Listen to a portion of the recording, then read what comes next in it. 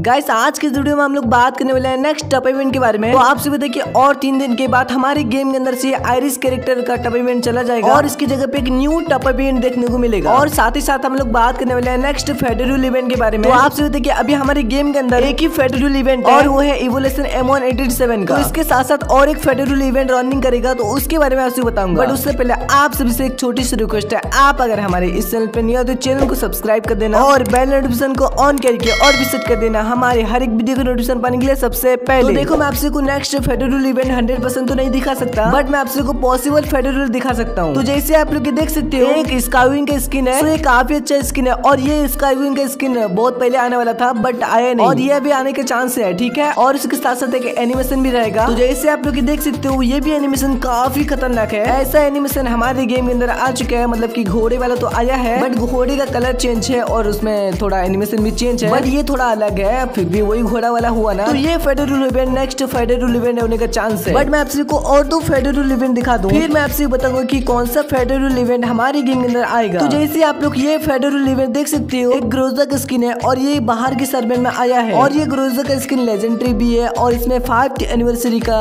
लोगो लगा हुआ है। मतलब की यहाँ पर आप लोग देख सकते हो फाइव लिखा गया है। तो इसका मतलब ये हो की फाइव एनिवर्सरी ठीक है? अगर ये ग्रोजा का फेडरल इवेंट आता है ना उसके साथ में एक इमोट रह सकता है। तो जैसे आप लोग ये देख सकते हो डम्बल वाला इमोट ये भी रह सकता है। मेरे को ये इमोट देख के लगता है कि ये इमोट फेडरल इवेंट के अंदर ही आएगा। तो इसके भी आने का काफ़ी सारे चांस है। और एक फेडरल इवेंट की बात करें तो एक एनिमेशन वाला फेडरल इवेंट तो जैसे आप लोग देख सकते हो, ये एनिमेशन भी काफ़ी अच्छा है। और ये एनिमेशन हमारे फेडरल इवेंट के अंदर ही आएगा। तो देखो, ये जो फेडरल इवेंट है ना, ये तो हंड्रेड परसेंट कन्फर्म हो चुका है की आएगा। बट इसका डेट कन्फर्म नहीं हुआ है कि कब आएगा। तो क्या पता ये भी अपना नेक्स्ट फेडरल इवेंट हो सकता है। मेरे को भी यही लगता है की यही फेडरल इवेंट हमारे नेक्स्ट फेडरल इवेंट होने वाला है। नहीं तो जस्टिन बीबर का इवेंट जब से स्टार्ट हो जाएगा, सत्ताईस तारीख से जस्टिन बीबर का इवेंट स्टार्ट हो जाएगा, तभी हमसे को ये फेडरल इवेंट देखने को मिल सकता है। तो चलो अब हम बात करते हैं अपना नेक्स्ट टपा इवेंट के बारे में। तो मैं आपसे दो टपा इवेंट दिखाता हूँ। तो पहले आप लोग ये देख लो, एक सरबोर्ड का स्किन है और एक लूडबॉक्स का स्किन है, ठीक है? तो ये फाइव एनिवर्सरी के थीम पे है तो इसका भी आने का चांस है। बट ये बहुत कमज़ोर टपा इवेंट दिख रहा है। मतलब की सरबोर्ड का स्किन और लूडबॉक्स का स्किन ये तो घटिया चीज़ है तो घटिया चीज़ टपा इवेंट के अंदर थोड़ी ना आएँगे। तो इसलिए इसका आने का बहुत कम चांस है। लेकिन लेकिन लेकिन मैं आपको एक बात बता दू, गरीना कुछ भी कर सकता है पैसों के लिए। तो क्या पता ये अपना नेक्स्ट टब इवेंट भी हो सकता है? बट इसके बारे में अभी कुछ आइडिया नहीं है ठीक है? और एक टब इवेंट की बात करें तो, तो जैसे आप लोग देख सकते हो जस्टिन बीवर का ग्लोअल का स्किन है तो काफ़ी अच्छा ग्लोअल का स्किन है। तो ये भी अपना नेक्स्ट टप इवेंट हो सकता है। बट जस्टिन बीवर का एनिमेशन देखने को मिल गया ना? तो ये ग्लोअल का स्किन हमसे कुछ टप इवेंट के अंदर देखने को मिल जाएगा। और हाँ